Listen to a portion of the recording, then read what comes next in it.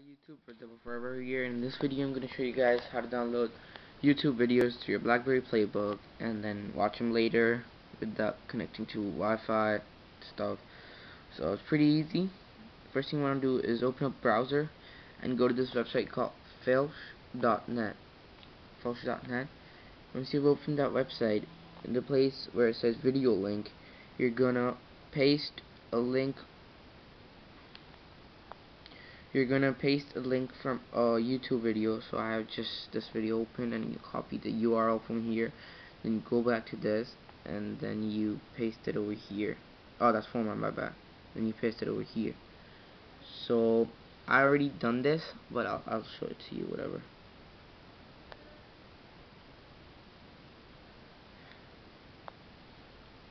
after you like pasted it from over there and then you're gonna just keep the format like this then go next and then after this you're gonna download it.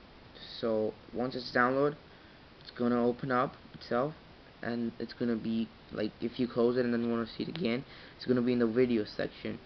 I'll show it to you. It's right here. So that was the ad. Here's to the crazy ones. The misfits. Rebels. that's pretty much ad so round pegs in the square holes.